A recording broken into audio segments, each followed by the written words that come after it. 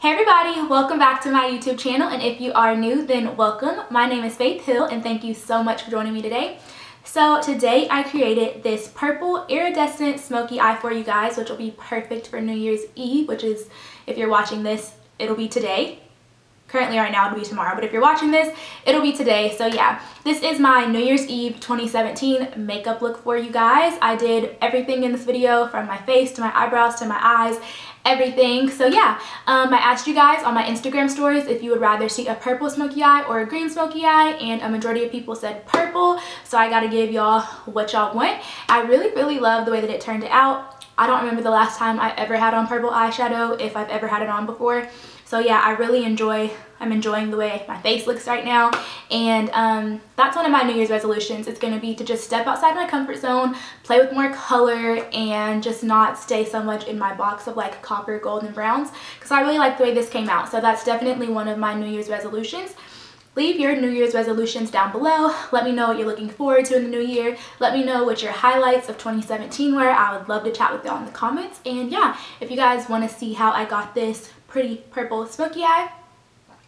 Don't know why I did it like that, but if you want to see how I got this cute purple smoky eye, then of course, let's just get right into it.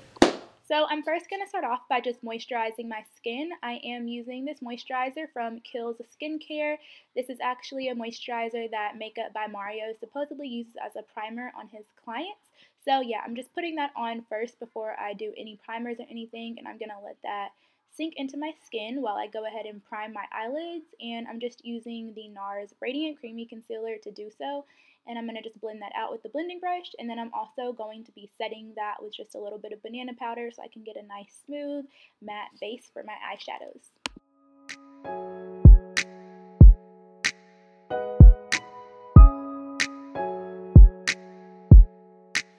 So going in with my Jaclyn Hill palette, I took one of the light brown shades out of that palette and I just used it as a crease color.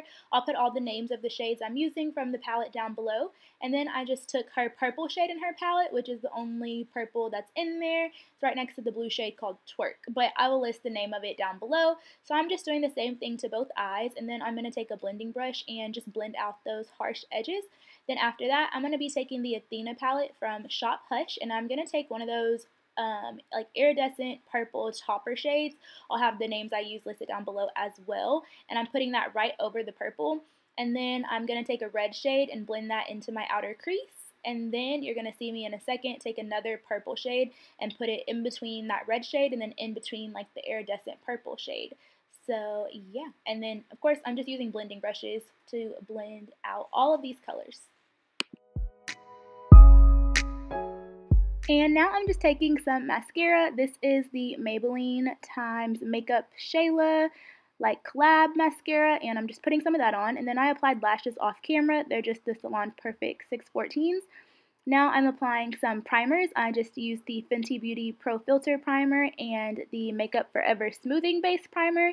And then I'm taking my Huda Beauty Faux Filter Foundation, which I love, love, love. It blends like a dream.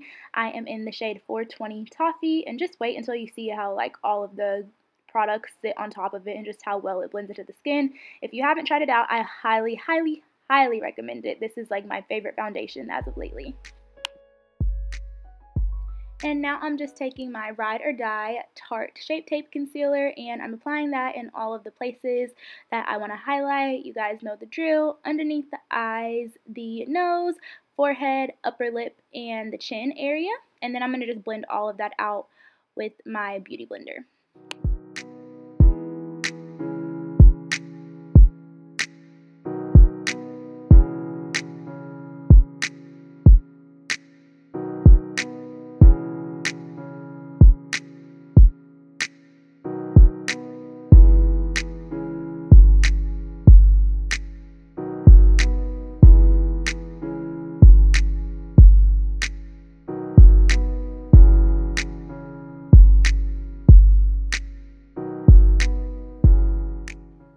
So now I'm just taking my Jordana contour stick, I believe it's in the shade dark, and I'm just putting that in all of the areas that I want to contour, of course.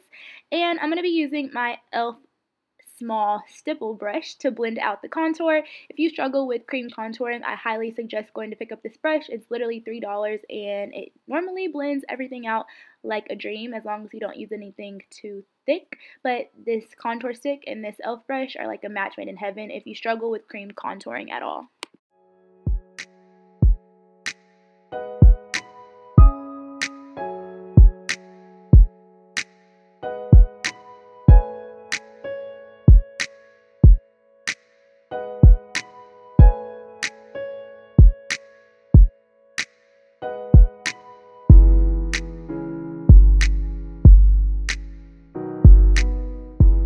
Now I'm just taking my Makeup Revolution banana powder and setting all the places where I put the Tarte Shape Tape Concealer. And you can find this powder at Ulta. It's like $8 and it's an exact dupe for the Ben Nye banana powder. So yeah, I'm just going to set all of those places and then I'm going to let it sit for just a little bit. But I'm going to brush it right off pretty quickly with my just Morphe um, like face brush. Face brush.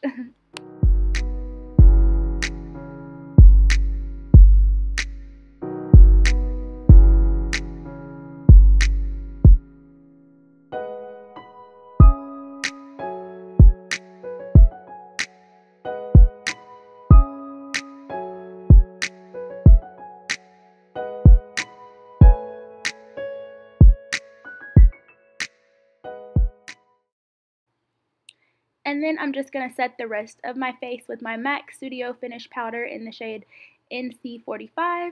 And then after that, I'm going to contour with my NYX Contour Kit. And I'm just basically setting everywhere that I put that cream contour on.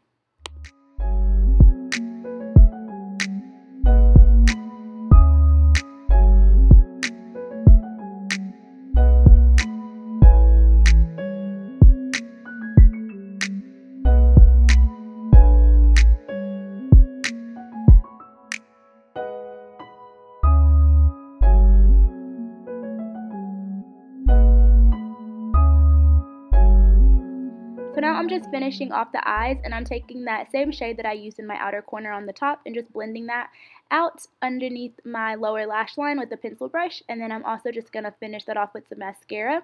And then after that I'm just taking my Opal highlighter from Becca and I'm just applying that to my nose, my upper lip, and then my inner corners. I haven't really been filling, highlighting my cheeks lately so I'm just going to highlight those areas.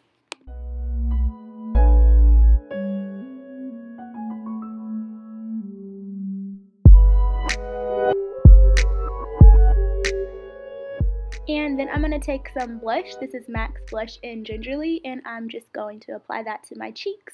And then blend it out with a stippling brush from Morphe.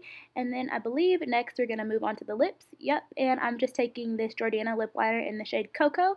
And I'm lining my lips. And then I'm going to be filling that in with the NYX soft matte lip cream in the shade London. Then after that, I'm just topping that off with my favorite lip gloss at the moment, which is the Gloss Bomb from Fenty Beauty. I love it. It looks so just juicy on the lips and it tastes and smells really really good as well so yeah I'm just topping it off with that and then you'll see me finish off the look with the Too Faced Hangover RX setting spray and that will complete this look you guys. So yeah i hope you guys enjoyed it and i hope y'all have a very very happy new year. Thank you guys so much for watching and i will see you guys in my next video. Bye you guys